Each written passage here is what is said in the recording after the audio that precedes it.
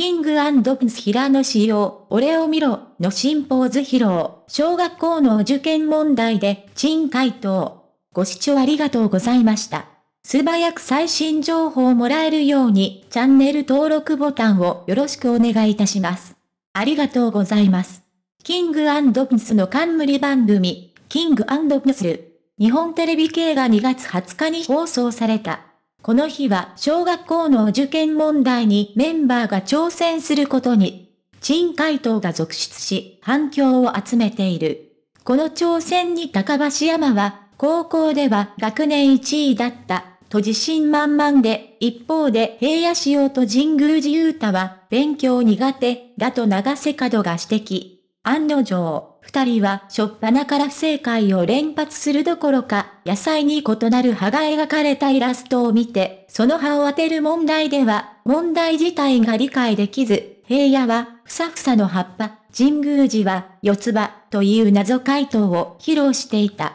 さらに、着ると透明になるコートがあります。自分はそれを着たら何をしたいか絵を描きましょう。またコートが脱げてしまったらどうするか、続きの絵を描きましょう。という問題では、平野が衝撃的な絵を披露。全裸で大事なところを隠している絵で、平野はまず透明になるコートを着て、女子風呂に入りたい、と言い、お風呂行くなら僕も裸でマント、コート、着てると思っちゃって、とイラストが全裸の理由を説明していた。続けて行われた、グーチョキパーで何作ろうをメンバーで続けていくというゲームでも、平野はトンチンカンな回答を披露。右手はグーで左手はチョキで俺を見ろ、から俺を見ろ、から、とグーを放置しチョキで自分を指すという謎のポーズを開発。右のグーは我慢してる、とのことだった。しかし、マックの劇団一人から、俺を見ろ、って言った後、分殴るの、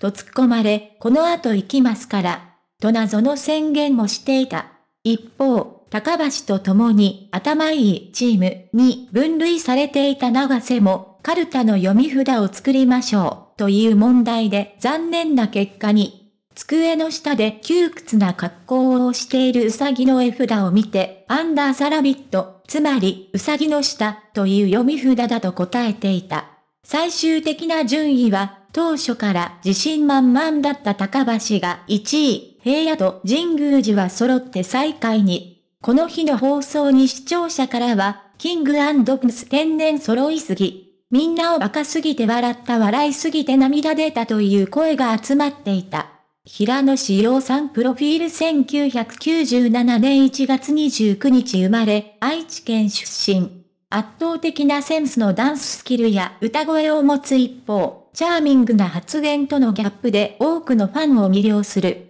ご視聴ありがとうございました。これからも一緒に応援していきましょうね。チャンネル登録をよろしくお願いいたします。